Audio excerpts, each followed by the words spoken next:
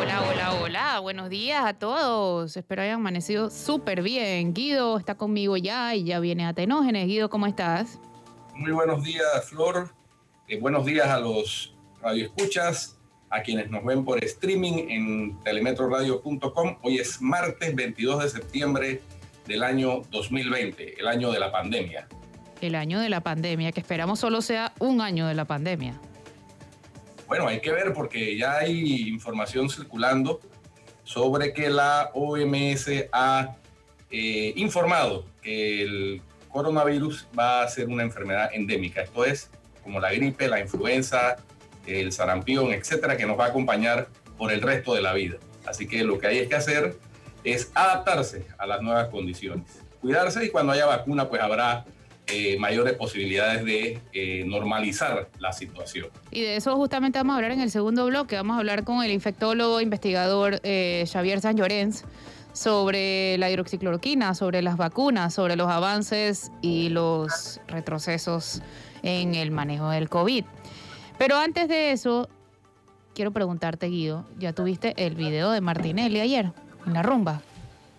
Bueno, sí, eh, increíble que en plena pandemia, en plena todavía restricción para ese tipo de actividades, eh, haya quienes tienen, al parecer, eh, la vía libre para ejercer actividades y hacerlo sin guardar la distancia recomendada, sin el uso de mascarillas o con el uso de mascarillas mal utilizadas, en lugares cerrados y esto sin que las autoridades pues eh, digan ni esta boca es mía. Es decir, Flor, nos siguen sacando la lengua, no solo a los ciudadanos, sino a las autoridades. Yo reitero, cualquier fiscal, cualquier juez que tenga a su cargo decidir la comparecencia o no de cualquiera de los que han sido sorprendidos violando las restricciones establecidas, deberían revisar minuciosamente si es que llegan a presentar de esas famosas incapacidades. Y me voy más allá. En mi concepto deberían hasta procesar a los médicos que otorgan esas falsas incapacidades. Ya, ya tenemos antecedentes. Ustedes recordarán cuando el entonces magistrado presidente de la Corte Suprema de Justicia, Alejandro Moncada, estaba siendo procesado y presentó una incapacidad ante la asamblea que lo estaba procesando de una doctora que ni siquiera lo había visto. Sí, Paulina y esa doctora fue reprendida severamente y la incapacidad fue desechada. Es decir, aunque parezca mentira, hay antecedentes de alto perfil en ese sentido. Así que ojalá tanto el, Ministerio Público como los jueces de cumplimiento pongan atención a este tipo de cosas. algunos de los que estaban ayer en esa francachela sea lo que sea, para un video musical, para lo que sea, se están violando las normas establecidas por el Ministerio de Salud. Lo dijo Israel sí, Buenos días, buenos días, Guido. Eh, así lo dijo el director metropolitano de salud. O sea, él dice, por mi despacho tiene que pasar esto y no lo vi. Y si se está investigando, quiere decir que no se pidió el permiso respectivo, porque sí se necesitaba un permiso para realizar ya sea un video musical o sea una fiesta, lo que sea. Se necesita, se necesitaba un permiso.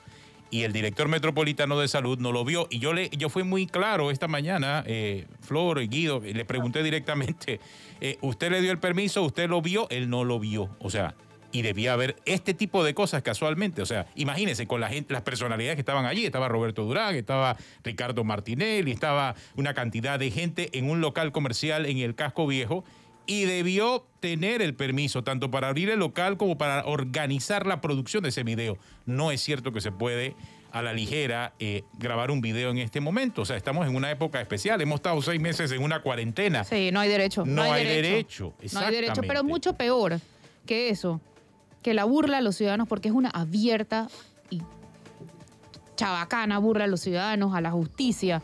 Más allá del mensaje de que Martinelli está por encima de la ley, cosa que ya sabíamos y solo estamos reiterando. Más allá de la inacción de las autoridades, porque estamos claros que esa investigación, como todas, va a quedar en nada. No conozco la primera que haya quedado en algo todavía.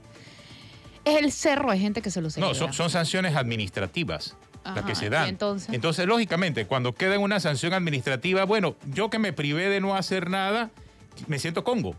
Me siento como el que realmente, vean no acá. te sientes, eres. Yo somos congos, somos congos. supuesto. Lo que decidimos no hacer Pero y la nada gente somos que lo celebra, y la gente que se lo celebra. Claro, y mucha gente aplaude sobre pretexto de que, de no sé, de la popularidad del personaje o de llevar la contraria al gobierno. No, no es un asunto de política, es un asunto de responsabilidad ciudadana. Y casualmente estamos en un momento en donde se requiere hoy más que nunca responsabilidad ciudadana. Claro, eso suena aéreo, pero lo vemos entonces reflejado en la realidad de los procesos judiciales. Porque ayer fue este caso y el día anterior fue el caso del yate. Entonces, claro, también parece, Guido y Flor, que se tratase de una estrategia para llamar la atención. Claro, eh, no sé, pues él quiere llamar la atención en este momento y tenernos quizás discutiendo el tema y desviar la atención de otros temas importantes del país. Lo que pasa es que en el fondo está la burla hacia la justicia, hacia el sistema. Ah, eh, digo, si el procurador de la nación eh, realmente respeta o es parte de una responsabilidad ciudadana que tenemos hacia el sistema judicial, debiese estar llamando inmediatamente a este señor a que rinda cuentas por lo que pasó. ¿Cómo es posible que usted acabe de salir de una incapacidad? Por cierto, Flor, la única pa- incapacidad que tenía este señor era hasta el 6 de septiembre, esa Sí. es la única, porque es que me dijeron que había metido una segunda Yo incapacidad. no lo he visto. Yo tampoco, por eso pregunto. Este, pero el asunto es que si venció el 6 de septiembre ya debía haber sido citado entonces, pues. Él ya fue. ¿Ah? Él ya fue. Después del 6 de septiembre. Él ya fue después del 6 Y de ya declaró. Ya declaró en dos casos. Y de paso aprovechó y. Y no metió otra a- incapacidad entonces. Yo no lo he visto personalmente. Pero incapacidad o no incapacidad, esto es una burla tremenda a la justicia, es una burla tremenda al país. Sí, es se un están burlando del sistema mensaje. judicial. Totalmente. O sea, no, y, no, sa- y nosotros, sabes o sea, que la gente lo que ve es, bueno, pero si él puede hacerlo, ¿yo por qué no? ¿yo por qué no? Yo también puedo hacerlo. O sea, yo soy acaso menos que el otro. Ey, si él se burla, ¿por qué yo no? Y, y, esto- y así es con todo. O sea, si el de arriba no está cumpliendo con la ley, si el de arriba es corrupto, si el de arriba permite el juega vivo, el de abajo, ya sea funcionario público o no, va a hacerlo. Mira, aquí en mis redes alguien dice, es que en una sociedad donde el dinero lo puede todo, los pobres estamos jodidos. Exacto. Y aquí dice otra persona, quien hace fiesta mientras sus hijos están presos, eso es demencia. Yo no me metería con las enfermedades mentales, yo simplemente me meto con los caraduras de la gente, con los caraduras y los cero valores que hay aquí, la verdad. Eso es así, Flor, desafortunadamente, y que una persona que ha ocupado el puesto más importante en este país eh, tenga ese comportamiento es francamente eh, Deplorable.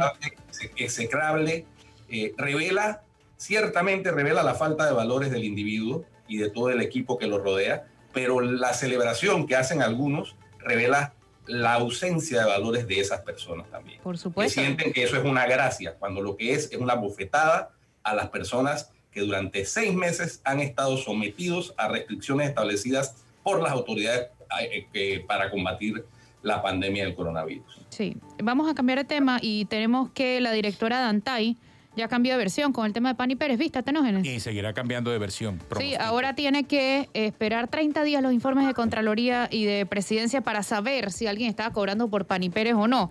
O sea, el viernes ella aseguró que él no estaba en planilla, pero ahora cuando borraron un mes, pero olvidaron borrar los otros anteriores, los cuatro anteriores, entonces Vino resulta que hay que esperar. Vino el problema. Ahora claro. resulta que hay que esperar, claro. Y, y yo no sé qué tan rápido funciona eso. Yo lo que he investigado con algunas fuentes en el gobierno es que inmediatamente muere la persona, inmediatamente se suspende el pago, inmediatamente se ingresa el certificado de función.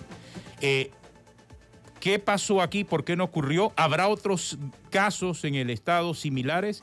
No sé. Eh, ¿De quién es la responsabilidad? Directamente de Contraloría. Directamente de Contraloría.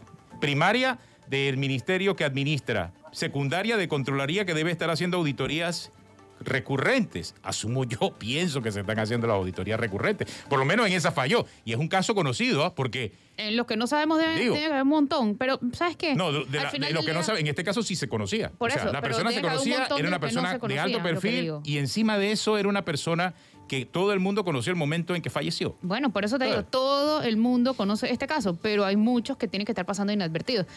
Que ella espere 30 días a mí me preocupa, porque 30 días se presta para hacer muchos chanchullos y muchos cambios en los documentos. Y por otro lado, ya Guido nos explicó el viernes que esto genera un débito automático, o sea que alguien lo cobró. Alguien lo bueno, cobró. si alguien, si se cobró, pues, pero es que ahora no sabemos si se cobró o no se cobró porque hay que esperar 30 días para que nos digan. Y me parece que 30 días es un plazo demasiado largo. Eh, eso es tan sencillo como hacer la investigación que hiciste tú, Atenógenes, verificar en la planilla del ministerio, eh, de indicarle al Ministerio de la Presidencia que dé la explicación de por qué el ciudadano fallecido hace tantos meses no ha sido dado, dado debajo de la planilla y proceder con la auditoría, el control posterior que debe hacer la Contraloría es una fase posterior. Pero para investigar si el hombre estaba o no en la planilla, solamente se requiere un par de clics. No, y además, mira, e-, eso es la falta de transparencia que caracteriza a este gobierno. Y en esa misma línea, ayer, no sé si vieron que Cortizo publicó que se reunió con Mike Pompeo, lo publicó como a las seis y algo de la tarde. Pero Pompeo lo había publicado dos horas y pico antes. Entonces no me va a decir que Nito Cortizo tiene más cosas que hacer que Mike Pompeo. Yo quiero saber si lo hubiéramos sabido, si Pompeo... Conocer, o sea, porque ese, tipo de llamadas no se dan eh, de último minuto. Ese tipo de llamadas se planifican. Pero por supuesto, pero además yo quiero saber por qué lo pues? sabemos, por qué lo sabemos dos horas después que lo publica el otro y si lo hubiéramos sabido si él no lo hubiera publicado es innecesaria toda esta secretariadera que se cargan. La gente necesita la rendición de cuentas. Ellos lo prometieron, pero además de que lo prometieron, es su obligación. Y realmente no entiendo por qué. No, y, en, algo, en algo tan básico como comunicar, bueno, que estamos eh, como presidente de la República hablando con el secretario de Estado de los Estados Unidos. O sea, ¿cuál es, cuál, qué, qué es lo secreto de allí? Es que es la opacidad de la marca, es como que ya no lo ves, ves la comunicación eh, tanto del señor Pompeo como del presidente de, Panamá y realmente no, hay, no es un tema, no es un tema de seguridad nacional que requería eh, comunicación secreta. Eh, simple y sencillamente aquí hay un, asunto de responsabilidad para comunicar este tipo de información. todo, esto, todo esto trasciende, Flor, en momentos inclusive en que estamos viendo eh, sanciones, y, voy a, voy a pegar este tema con el otro porque también me llamó la atención ayer, lo del acuerdo de penal que se alcanzó la Fiscalía Anticorrupción con unos señores identificados como botellas en el ah, gobierno. Y me llama la atención el acuerdo de pena porque fueron 200 días multa que se les impuso. Yo no sé qué tan común, Guido, es que eh, se identifiquen a botellas y se llegue a acuerdos de penas por botellas que trabajan en el Estado. Y ojo, aquí eran, no eran cualquier tipo de botellas, eran entre las que están eh, producto del acuerdo de pena asesores jurídicos de estas entidades, o sea, eran asesores supuestamente que tenían un salario alto y responsable. Pero ¿qué tan común es esto, Guido? Bueno, eh, definitivamente que el acuerdo de pena eh, concertado entre un imputado y el, fiscal de la causa, y además que tiene que tener eh, la homologación por parte del juez de garantías, está establecido en, nuestro ordenamiento penal. Ahora, te quiero mencionar que con relación al caso del, del IPACO, que hay corriendo, hay corriendo en paralelo con independencia una investigación en la jurisdicción de cuentas con una lesión de más de 900 mil dólares precisamente. Ah, ¿Cómo, cómo? 900 mil dólares en botellas. Sí, esas personas que eso, es que esos emolumentos que cobran como asesores sin prestar, sin prestar un servicio a cambio, sin una contraprestación, eso es lo que se configura el, delito de botella. Pues, en seis, espera, espérate Guido, acláranos, en seis funcionarios, 900 mil dólares. Claro, porque fue por un largo periodo de tiempo. Mensualmente tú le multiplicas esos 4 mil, 5 mil, 6 mil dólares que, cobraban como asesores sin llevar esa contraprestación en un tiempo estimado. Eh, produce ese tipo de lesión. Digo, yo te voy a decir una cosa, aquí nos roban, pero es que a manos llenas. Pero 900 mil dólares. Es que aquí se hablan de, millones como si fueran cuaras. Y, tenemos años, tenemos años en esa situación, ¿ah? Yo, incluso, yo incluso eh, eh, cuando ejercía la Fiscalía General de Cuentas, a solicitud del actual director de IPACOP, me reuní con él para explicarle en qué estatus estaba el caso, porque él estaba muy preocupado con ese tema de que se recuperaran esos dineros. ¿Cuántos casos similares tuviste en esa época de botellas? Solamente había, pero, había, pero no en esa, no en esas, no en esas cuantías. El más grande, sin duda, es ese del de, Instituto Panameño Autónomo Cooperativo eh, pero también había en otros ministerios, ¿no? Había casos de viáticos mal utilizados, casos de combustible eh, sin justificar, combustible que se usaba para cuestiones privadas, incluso para campañas políticas. O sea, es combustible del Estado. A raíz de eso se estableció una, un control a los, a los vehículos que, estatales que se surten de combustible eh, en las estaciones que han sido contratadas para eso y se les puso un chip a cada vehículo. Imagínate el control que hay que tener para evitar que la gente hiciera trasiego de combustible, es decir, o, sacar combustible con las tarjetas que para tal efecto emite la, la, empresa gasolinera o eh, echárselo a vehículos que no eran oficiales. Entonces, se han ido ajustando los controles, pero ciertamente era una práctica común, así como lo de la botella atenógena. Yo lo decía el otro día, hay instituciones aquí que no resisten ni siquiera un análisis de comparar el número de personas que están en la planilla y sus instalaciones. No cabrían. La Asamblea Nacional como ejemplo eh, eh, principal en eso. Guido, eh, volviendo al ANTAI, viste que hicieron una investigación exhaustiva, dicen ellos, y no encontraron ninguna falta administrativa en el caso de los ventiladores de 48 mil dólares. Bueno, falta administrativa eh, es, es, un eufemismo. Por eso, hay, el término que, usan. Un evidente, un evidente desapego por lo que dicta la norma de contratación pública de que el Estado tiene que ser un Estado ganador, un Estado que cuando hace las compras obtiene el mejor beneficio, el mayor beneficio posible al menor precio del mercado. Entonces ahí lo que hay es una evidente negligencia, por decir, eh, por pensar de la mejor manera, cuando no un negociado con corrupción. Sí, o, sea, eh, entendamos el término que utilizan. Falta administrativa. Usted muy bien lo dice, es un eufemismo que se utiliza de forma recurrente. Hay que analizar los términos que se utilizan a la hora de identificar problemas y, temas administrativos.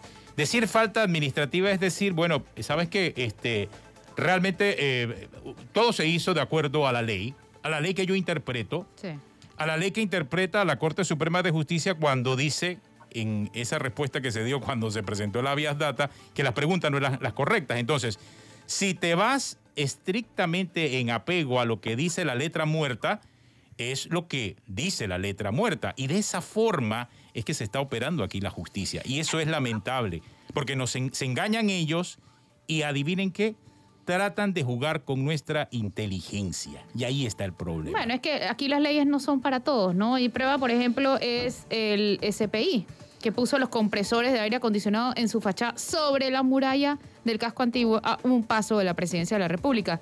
Y eso podría parecer para muchos, eh, eso es superficial, eso es una bobada, ¿qué te importa? Pero ¿sabes qué? El mensaje que da es que otra vez Aquí las leyes son solamente para algunos. Pero no lo decimos nosotros, lo dice el Programa de las Naciones Unidas para el Desarrollo. En este informe. Eh, y cuando vemos esta realidad, que no contrasta, sino que simple y sencillamente emula lo que dice el informe, que Panamá vive de favores políticos. Hay ausencia de diferencias entre Estado y gobierno. Hay apatía por fomentar los méritos. Eso es real. Eh, ¿Esto cuándo va a cambiar según el PNUD? Eh, cuando pues las políticas permitan hacer más eficaz la gestión pública. Y yo creo que aquí es donde se está fallando. Aquí no se está buscando hacer eficaz la función pública en ninguno de los sentidos, ni en función de la representatividad, o mejor dicho, del funcionario que representa la ANTAI. Por poner un ejemplo, y no es que estamos agarrándola con la ANTAI, pero ya que mencionas el caso de la ANTAI, el funcionario que se coloca en la ANTAI yo creo que ni siquiera sabe la responsabilidad que tiene como ciudadano para poder enfrentar el reto de estar en la ANTAI. Y ha pasado con este caso, por ejemplo, puntualmente de la ANTAI, y ha pasado, pasa en la Contraloría, pasa en la Procuraduría inclusive. O sea, gente que se nombra de fiscal y ni siquiera saben que son fiscales, ojo, sino que piensan que todavía en este país existe la obediencia de vida. Aquí no hay obediencia de vida, o sea, no es que porque tu jefe te está ordenando hacer. Tú, eres funcionario público primero, te debes al, servicio público. Y segundo, la obediencia de vida hace muchos años aquí se derogó. Estaba en la Constitución en un momento, pero ya no existe obediencia de vida. Entonces, si tu jefe está haciendo, está pidiendo un acto ilegal, ¿cuál es tu responsabilidad como funcionario? ¿Denunciarlo o no hacerlo? No hacerlo, punto. Y denunciarlo. Ah, eso te va a costar el puesto. Es que te puede traer problemas futuros. Y eso es lo que aquí en Panamá no se sabe separar. Vamos a un cambio, ate. Ya regresamos porque tenemos al doctor Xavier Say Llorens en unos minutos con nosotros. Aquí en Cuarto Poder.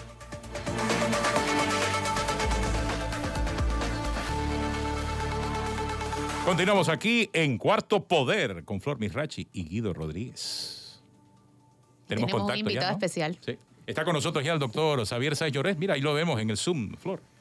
Hola, doctor. ¿Qué tal? ¿Cómo están? Bien, gracias. Gracias por la invitación. Buenos días, doctor. ¿Cómo está usted? Gusto en saludar. Igual, igual. Gusto en verte. Sigue el debate de la hidroxicloroquina, doctor. Bueno, eh, ese es un debate que ya ha sido superado desde hace mucho tiempo en Estados Unidos, Europa, Australia, Canadá, en países de Sudamérica, Chile, Argentina. Pero aquí no sé por qué sigue realmente, ¿no? Porque eh, en las guías de estos países que son elaboradas con base a, la mejor evidencia del momento y a la calidad de la evidencia, sobre todo estudios aleatorizados, controlados o metaanálisis, eh, se ha ido abandonando por el uso de hidroxicloroquina y ni siquiera aparece en las guías, o sea, ya es un tema superado, ¿no? Pero aquí todavía eh, hay un debate que a mi juicio no tiene mucho sentido, pero, pero existe. Hoy hay un artículo, por cierto, muy interesante sobre ese tema, eh, no directamente con, con, el tema de cualquier fármaco o tratamiento, sino del procedimiento que se debe seguir en el diario de la prensa de la doctora Tania Herrera. Eh, quizá un poquito técnico para los que no son eh, médicos, pero, pero explica cómo es el procedimiento para la adopción de los tratamientos. Sí, es muy bien escrito. de hecho, precisamente habla de los sesgos, ¿no? Para evitar los sesgos personales o la opinión eh, particular de que a mí yo veo que me va bien con tal o cual paciente, eh, para eso hay eh, fortalezas de evidencia, ¿no? Y eso está bien documentado en la, en la, literatura científica, no solamente en medicina, sino también en ciencia, ¿no? La, la mejor evidencia se obtiene de metaanálisis de, es una conjunción de artículos de, de estudios aleatorizados, controlados, muchos doble ciegos. Y esa es la mejor evidencia eh, del momento para formular guías y recomendaciones. Yo, eso yo lo, yo lo pongo, una analogía, por ejemplo, es los protocolos de vuelo que usan los pilotos en la aviación, por ejemplo. Esos son protocolos con la mejor evidencia posible, son eh, protocolos eh, consensuados internacionalmente y ahí no hay eh, cabida a que un piloto diga a mí me va mejor con tal o cual cosa. Eso no es así, o sea, tienen que seguir el protocolo y no pueden ser inventados. y la, eh, la, autoridad de aeronáutica es la que emite todas esas guías y hay que cumplirla. ¿no? En este caso, por ejemplo, debería ser el Ministerio de Salud, que utilice la mejor evidencia posible con los mejores estudios que hay para, para, para hacer protocolos y que, y que los médicos sigan. ¿no? no se puede esto de que yo creo tal cosa yo creo tal cosa porque sería realmente un, un relajo. Ahora, doctor, esa falta de rigurosidad quizás eh, de parte de algunos médicos, ¿por qué será? O sea, ¿por, por, qué, ¿por qué tratar de confundir en un momento tan delicado? Y sobre todo que mucha gente pone sus manos en la esperanza de el mejor consejo de un profesional de la salud. Ahora, yo no creo que sea eh, ganas de confundir, eh, ni creo que haya, ojalá, pues, algún tipo de interés de fondo que no sea eh, tratar de, de hacer lo mejor por un paciente. Hay evidentemente médicos que confían ciegamente en que la hidroxicloroquina les trabaja. Pero ya, ya te digo, o sea, la medicina no funciona así, la medicina funciona con base en protocolos y las mejores evidencias, no en, no en posturas personales. Yo he hablado, de hecho aquí no hay ninguna pelea, por ejemplo, hay gente que dice que uno tiene odio o enemistades eh, para nada. De los seis, por ejemplo, que firmaron el último comunicado, yo soy amigo de dos de ellos, yo he hablado con dos de ellos, y ellos creen firmemente que la hidroxicloroquina, trabaja. O sea, no, no, es que, no es que tengan algún, algún tipo de agenda diferente. Doctor, eh, el MINSA, ustedes... Y no es que haya ni siquiera inquina ni odio, ¿no? Eso incluso los periodistas, algunos periodistas, por ejemplo, lo han llevado a, como si fuera un tinglado entre médicos. Pero aquí no hay ningún, no hay ningún odio, no hay ninguna enemistad, y de hecho no es algo de Panamá exclusivo, es algo que se ve en Estados Unidos, se ve en Europa, se ve en Sudamérica, o sea que eh, no, no, hay que buscarle odios ni, ni, rivalidades porque realmente no las hay, ¿no? Eh, o sea, hay que, básicamente nuestro papel es buscar la mejor evidencia disponible para formular guías de tratamiento y de manejo. Doctor, usted hablaba de, eh, ponía el ejemplo de los pilotos y decía que todos en verdad, aunque piensen que una cosa es mejor que la otra, tienen la, normativa que seguir impuesta por la autoridad. En este caso, en Panamá, el MINSA ha dicho que aprueba el uso de la hidroxicloroquina, pero lo deja a discreción médica. Si es bueno, ¿por qué no se pone como obligatorio? ¿Y cuál es, qué, hay detrás de ponerlo como uso discrecional? ¿Es, ¿Es cuidarse de demandas? ¿Qué es? Digo, a mí me parece que es una posición un poco cómoda y precisamente cuidarse de demanda, ¿no? Porque cuando hay una demanda por si, ocurre un evento adverso, eh, la persona va a buscar las, las guías más eh, eh, elaboradas científicamente que hay para tratar de justificar su, su queja por un evento adverso que ocurra, ¿no? A mí me parece una posición cómoda. Ahora, si el interés del ministerio es un interés de, de alguna manera ayudar a la población en algo. Bueno, pero utilicen eh, oxímetro de pulso, acetaminofén para la fiebre, den, den comida, den dinero, den asistencia social, den asistencia educativa, den eh, asistencia de, psicológica. Eso ayudaría mucho a las personas y, y esa es una forma de, de, de, hacer ver que el ministerio pues, está cooperando con la gente, ¿no? Pero no introduciendo medicinas que realmente no tienen evidencia de que trabajan, ¿no? Y que sí tienen evidencia de que pudieran tener eventos adversos. Y sobre todo estamos hablando de la enfermedad leve, ¿no? Si por ejemplo uno dijera en una enfermedad severa, en un el paciente está en el hospital, yo ahí pondero riesgos versus beneficio. Y por ejemplo los esteroides o el remdesivir, que también tienen eventos adversos, sí se recomiendan porque, porque en el balance de la enfermedad severa lógicamente pues se impone el, beneficio antes que el riesgo. Pero en una enfermedad leve, en la forma leve, en donde el 85% de las personas les va bien con, sin y a pesar de algún tratamiento, eh, el balance está a favor del riesgo. Entonces aquí, eh, evidentemente, pues en, las guías profesionales de muchos países de, de primer mundo, donde tienen sólidas instituciones científicas, no hay ningún tratamiento en la, en la forma leve de la enfermedad. Yo, creo que, yo creo que ese es el punto clave. Usted ha llegado al punto clave y es lo que, lo que se saca de todos los análisis y toda la investigación que se ha hecho hasta el momento del COVID.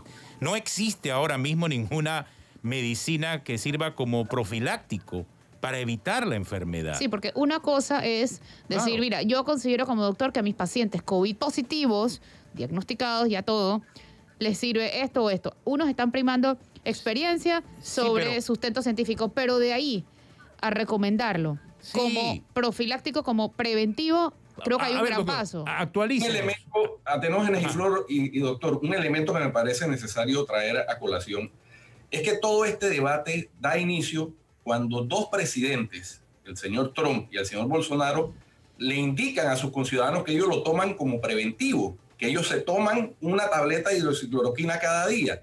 ¿Qué sucede con esto? Que esa, medicina está eh, eh, comprobada que funciona para otro tipo de enfermedades e inmediatamente se produce una escasez de ese medicamento para las personas que sí necesitan esa, ese medicamento, las personas que sufren de enfermedades antiinmunes como el lupus. Y ahí está el efecto perverso de haber politizado el tema del uso de un medicamento.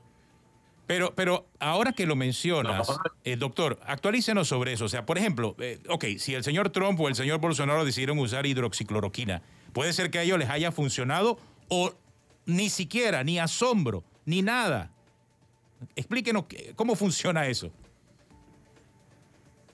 No, es que los estudios de investigación han demostrado que en la forma leve, como ya te dije, en la forma leve la gente se cura sin nada. Ah, Entonces, eh, es muy fácil, por ejemplo, decir yo tomé tal cosa y me mejoré, pero es que te ibas a mejorar de todos modos. Entiendo, claro. Pero, pero sin el peligro, exacto. No, no, no, pero, pero sin el peligro de eh, efectos adversos que puede tener la hidroxicloroquina, que ya hemos hablado. Eso no es como que te da hipo, o sea...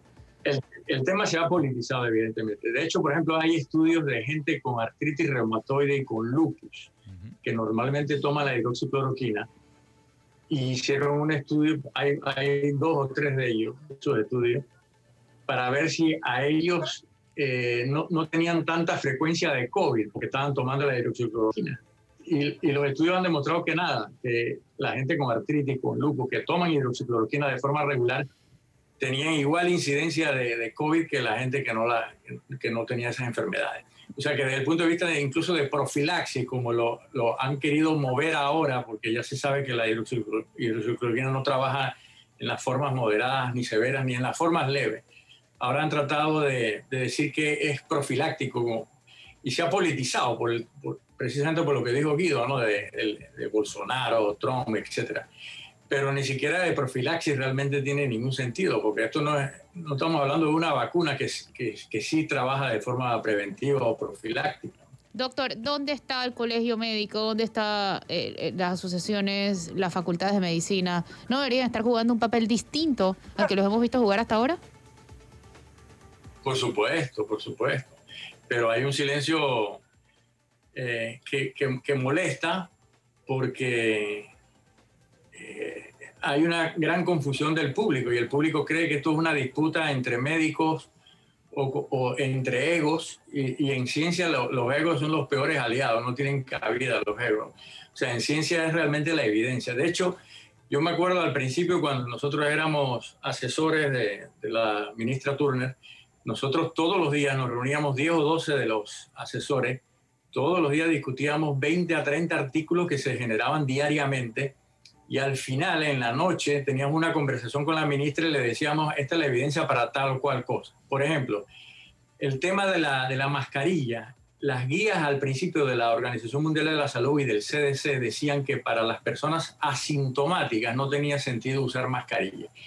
Sin embargo, la evidencia se fue generando en que esto cambió completamente y de hecho, eh, tanto nosotros como el ministerio cambiamos la postura y dijimos, las, las, las, mascarillas están, hay evidencia que cada vez más de que sirven para la persona asintomática porque la enfermedad se transmite desde los asintomáticos y, y cambiamos completamente la postura, las recomendaciones yo no sé si ahora lo están haciendo, pero antes era todos los días, 20 a 30 artículos, nos reuníamos en la noche con la ministra Turner por Zoom y, dábamos recomendaciones y ella tomaba las decisiones. Eso, eso se ha perdido ahora. Entonces, a, mi juicio hay mucho de, improvisación y yo creo que aquí el ministerio, el colegio médico, las asociaciones científicas, las facultades de medicina deberían tratar de realmente dar su, voz para que eh, se siga realmente eh, las guías de donde hay mejor evidencia. Lo, que pasa es que quizás se han metido también en medio del debate entre lo que sí y lo que no funciona y quizás no están viendo el problema desde 10.000 pies de altura, o sea, la magnitud de lo que realmente es, ese puede ser una de las razones. Eh, pero desmitificando algunas cosas, somos como periodistas pues ignorantes en muchos temas definitivamente y solamente muchas veces repetimos lo que hemos leído o lo que conocemos de algunos especialistas. Vemos estas grandes, grandes aglomeraciones, doctor, por ejemplo, en la calzada de Amador, en las playas. Ayer el tema de que si se estaba grabando un video musical y no tenían mascarilla.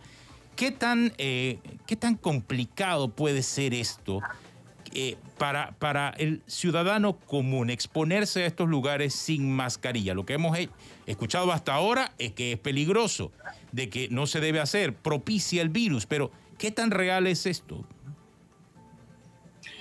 Bueno, lo hemos visto en Europa, ¿no?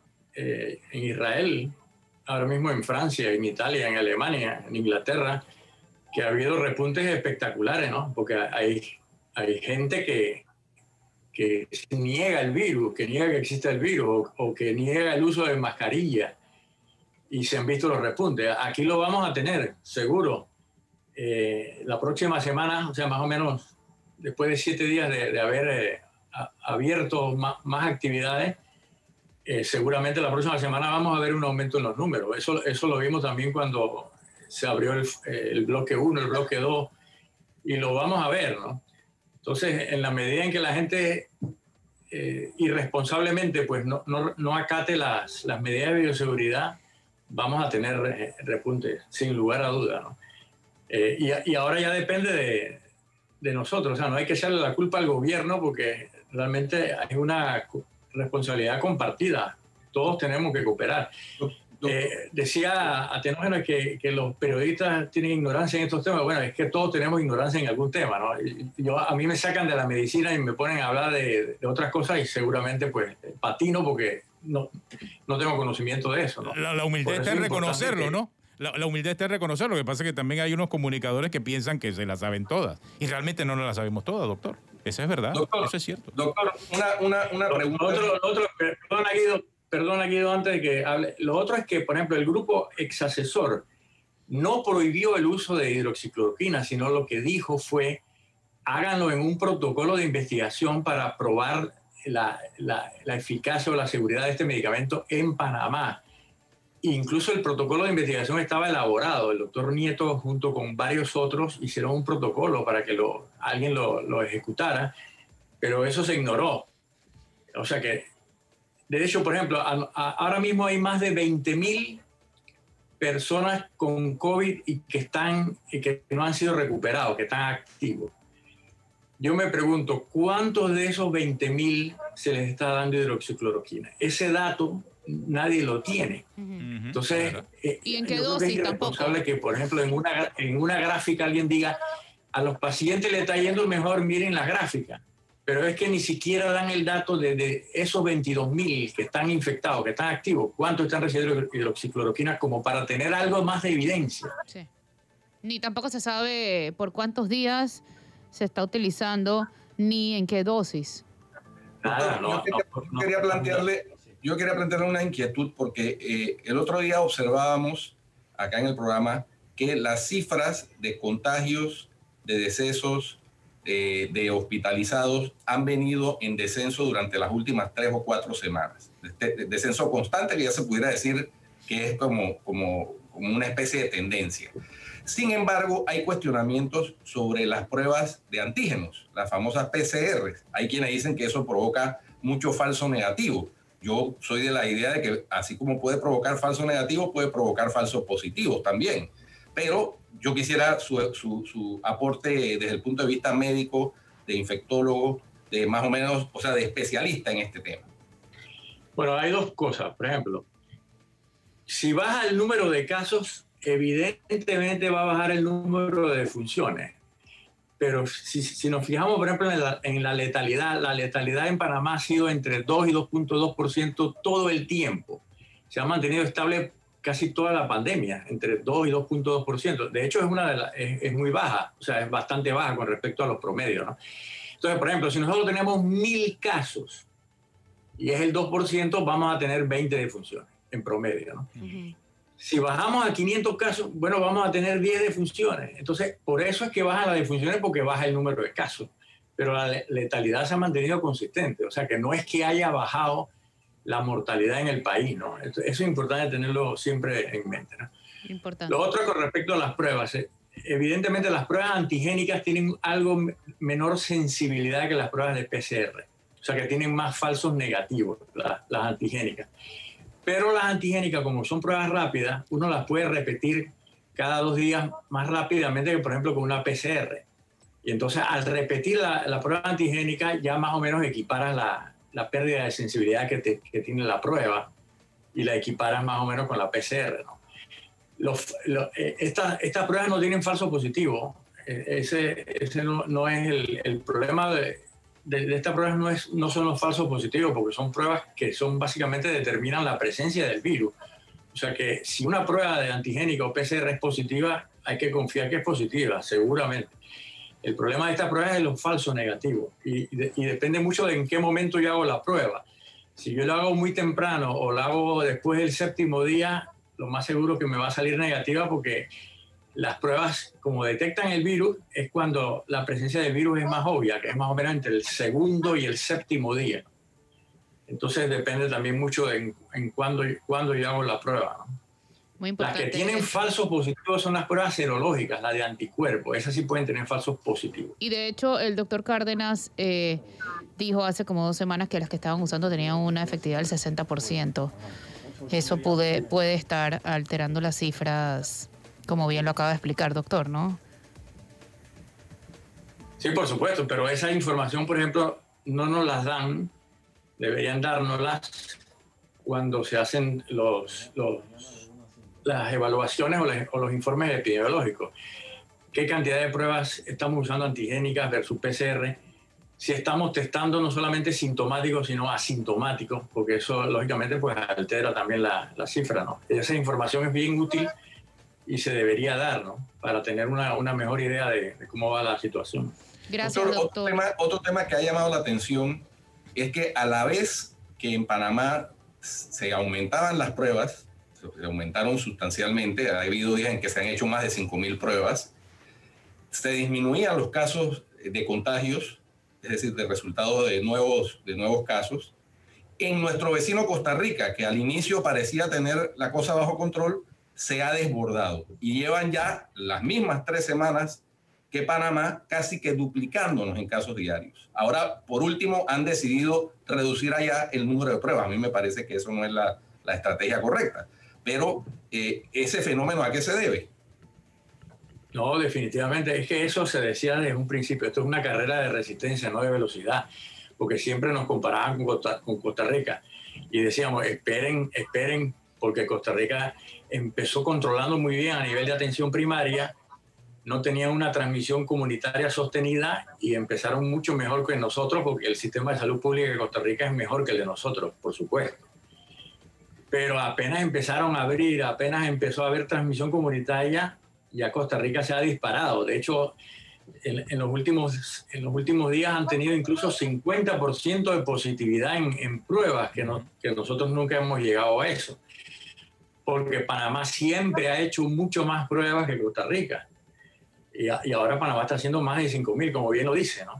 Eh, en Costa Rica no están haciendo tantas y fíjense la cantidad de positividad y la cantidad de casos que están teniendo recientemente. De hecho, eh, en los últimos días han tenido más casos por arriba de mil que en muchos de nuestros días aquí en Panamá. Y, y se le va a venir peor. O sea, al final yo creo que están, estarán a punto a lo mejor de alcanzarnos en número de casos y número de fallecidos, ¿no? A menos que haya una vacuna temprana que, que pueda solucionar el, asunto, pero no se ve que pueda haber una vacuna este año eh, y sobre todo aplicada a, a una a un gran segmento de la población. A lo mejor puede haber una autorización a finales de año por la FDA, pero, la pero para personas de, de- de mayor riesgo y en cantidad eh, limitada. ¿no? Yo no creo que Panamá tenga acceso a una gran cantidad de vacunas este año eh, bajo ningún punto de vista. Muchas gracias, doctor, por acompañarnos esta mañana. El doctor Xavier Llorens, aquí en Cuarto Poder. Una pausa, ya regresamos.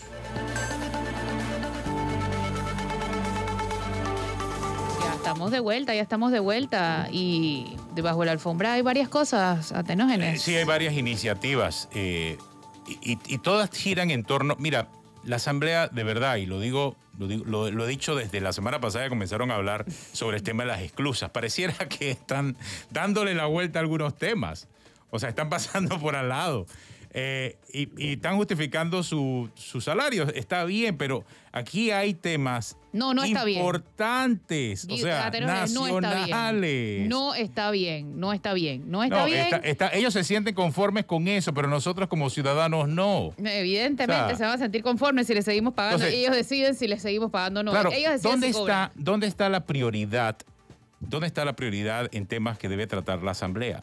En tratar el tema de que, bueno, si le cambiamos el nombre a la exclusa, si le cambiamos el nombre a la calle, si creamos más corregimientos, espérate, si eso realmente debe ser lo que está de ocupar el tiempo la Asamblea, en eso debe estar ocupando el tiempo. Pero por supuesto que no. Y mira que ayer presentaron otra iniciativa para crear más corregimientos en la comarca de Gunayala. Y esto no tiene ningún estudio que lo sustente y se suma a los 16 corregimientos que pasaron en el último mes los diputados. es un asunto de poder, de cuota de poder. Pero por supuesto, pero la cuota de poder de ellos nos cuesta a nosotros muchos millones. Así es. Y no hay ningún estudio que lo sustente. al tener más corregimientos y ojo, y estamos viendo pues el caso de Boca del Toro, el caso de Gunayala, pero creo que eso va a ocurrir en otros circuitos.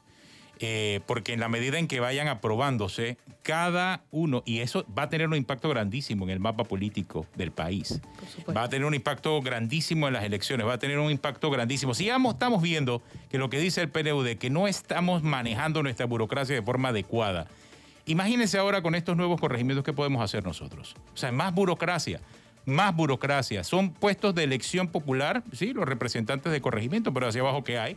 Funcionarios, burocracia, presupuesto. Cada vez cuesta más las cosas, cada vez se inventan nuevos gastos. Y se diluye el presupuesto. Exacto, hay menos inversión y la recaudación ha bajado enormemente y va a seguir bajando porque obviamente en, si la gente no hace plata en el 2020, pues no va a poder reportar nada en el 2021, o sea que el 2021 viene duro también.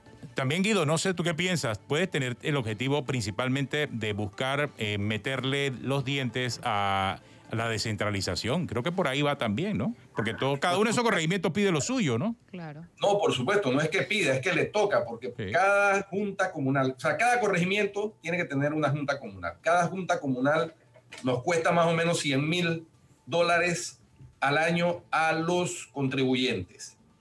Entonces, por eso es que también para crear corregimientos hay una serie de parámetros establecidos que tienen que ver con la población, con la necesidad, con el aspecto de la gestión de recursos. Entonces, estar aprobando, eh, los, diputados pueden hacerlo, ¿no? Aprobando corregimientos a diestra y siniestra, buscando otro tipo de beneficios distintos al, beneficio de la población, tiene que ser frenado por el Ejecutivo. Eh, ojalá el presidente Cortizo, al analizar esas, esos proyectos de ley que han sido aprobados en la Asamblea creando corregimientos, ponga la lupa y establezca las prioridades, porque no puede ser que se siga eh, cayendo en el saco roto. Es decir, como bien ha planteado Flor, el año 2020 va a ser terrible en materia de recaudación, pero el 2021 no pinta tampoco muy bien. No, ni el 2022, ni el 2023. De deuda. Vamos a seguir endeudándonos para satisfacer los apetitos políticos de los diputados. No, y una vez se crea el corregimiento, o sea, no veo que haya una ley entonces para eliminarlo. O sea, aquí no hay una ley para eliminar el corregimiento. Es difícil.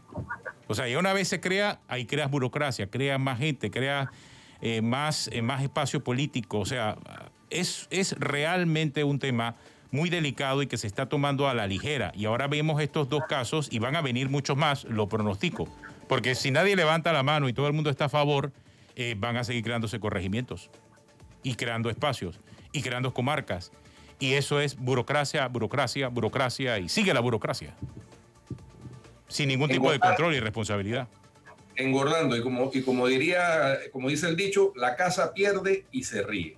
Y las autoridades encargadas de velar por el buen uso de esos recursos deberían levantar su voz y por lo menos cumplir con los requisitos técnicos que se establecen en la ley para poder crear una nueva eh, circunscripción, un nuevo corregimiento. Sí, yo veo eh, peligroso esto porque cada vez son más gastos y no tenemos ni la más remota idea en qué se están gastando nuestra plata. Mira cómo la Corte ayer eh, supimos que no admitió el habeas data para conocer en qué se usa nuestra plata. Y bueno, pero pero Pinedo va a insistir y, yo creo que a la Corte le va a quedar muy difícil volver a, hacer el malabarismo argumentativo de que las preguntas están formuladas mal cuando se vuelva a, producir si es que la solicitud de información que Pinedo va a cursar nuevamente con el grupo de ciudadanos al, al Ministerio de la Presidencia no recibe respuesta. Yo estaba viendo la famosa rendición de cuentas que ponen en los Twitter de la presidencia y eso no es rendir cuentas, eso son cifras globales cifras eh, absolutamente eh, eh, insondeables para cualquier ciudadano. Solamente ponen cuántos destinan a cada rubro. Eso no, eso no es transparencia ni rendición de cuentas. Exactamente. Sí, yo, el otro día, yo el otro día lo mostré, o sea, es una cifra global y no, eso no es rendir cuentas. Eso es simplemente publicar la, publicar la cifra, pues, ¿ya? Eso no es rendir cuentas. O sea, no se explica, no se tiene acceso y encima no, ni siquiera hay dato abierto para saber a quién se le da, cómo se le da, de qué forma se le da. Inclusive el tema de la asignación de bonos solidarios, y aquí lo tengo, o sea, Mire, es, es simple y sencillamente una lista. Aquí está, dice, informe de entregas de plan de bonos físicos y vale digital del plan Panamá Solidario. Ahí puede, podemos verlo. Cuando uno cliquea, es este papel. Es encima, es un PDF. Es un PDF, no se tiene ni siquiera acceso a eh, poder eh, investigar qué hay allí. Y con eso contamos Sí, nosotros, solo los se ciudadanos. dice, solo se dice Ya. dónde se entregó. Listo. Es más En que eso, eso. en eso es que debería estar Lantay, Sí. no en estar justificando No. los errores. En el- el- Pero le da entre comillas, 100%, que o sea, cometen 100% la- de cumplimiento. Sino provocando, cumpliendo su deber que está establecido en la ley, de que se cumpla con la rendición de cuentas y con la transparencia. Yo, yo realmente, pues, eh, son ese tipo de cosas. Entonces, ¿qué tanta información se puede obtener de allí? O sea, a la hora de tratar de validar, uno como periodista, la información que te puede entregar la presidencia es muy deficiente. Entonces, te quejas, se quejan porque dicen, no, lo que pasa es que tú no me das, tú no le das la información completa al público. Espérate, espérate, pero es que yo, Es yo te- es la que tú me das a mí. Es la que está publicada, ya. No, y además ¿Qué se más? molestan y se ofenden si uno llena los espacios en blanco. Sí. El que no quiere que uno piense mal, que dé la información completa. Exactamente, porque si no das la información completa, ese espacio en blanco va a darse. De todas formas, alguien lo va a ocupar. Pero es que, es que a mí lo que más me preocupa es que si no son transparentes y claros y a tiempo con información como reuniones del presidente con Mike Pompeo, menos lo van a hacer en esto. O sea, ellos han Ahora, agarrado esto como... No es un tema, no es un tema de este gobierno. Esto viene desde hace muchos años. Yo no creo que el problema es Muchos comunicación, años. yo creo que el problema es mucho más profundo. O sea, un relacionista público no, No, te va a publicar lo que el jefe no lo autoriza a publicar, entonces es mucho más allá No, que porque, esto. porque no, no, no requiere del comunicador, requiere de una estrategia, de una estrategia bien pensada en función de cómo yo voy a comunicar esto. De transparencia. Sí. Lo que pasa es que no hay transparencia, entonces ¿qué van a comunicar? Bueno, ellos dicen que hay transparencia. Ya hay una TAI, pues. Yo termino este programa con una gran sonrisa en mi cara porque... No se te ve porque tienes mascarilla. Exacto. No hay estrategia de comunicación y esa es una deficiencia que se de viene ese tema vamos a hablar desde mañana. hace- desde hace décadas. Vamos a hablar mañana de ese tema particularmente, ¿les parece? Comunicación, Comunicación. transparencia y estrategia. Con gente que ha estado ahí en ese puesto. Vamos a ver. Ay, Así terminamos Cuarto Poder. Gracias por acompañarnos. Será hasta mañana. Tchau.